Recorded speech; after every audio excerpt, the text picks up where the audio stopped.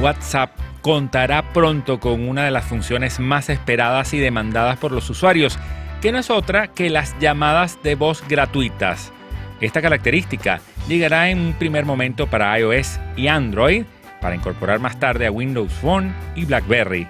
Se trata de una funcionalidad que muchos usuarios echaban de menos en la popular aplicación de mensajería instantánea y un área que sus principales rivales aprovechaban para explotar. Se espera que las primeras versiones para iPhone y Android estén disponibles a mediados de año. Los usuarios podrán entonces centralizar sus comunicaciones de voz y mensajes en una sola aplicación.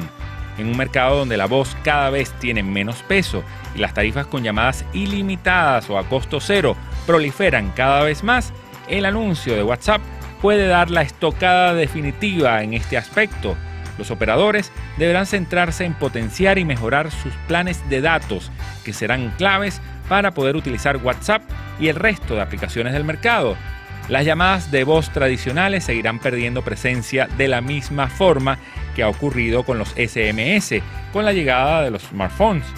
WhatsApp tiene planeado también el lanzamiento de móviles con la marca WhatsApp en Alemania, pero no se ha revelado detalles de este movimiento ni la posibilidad de que se expanda a otros países.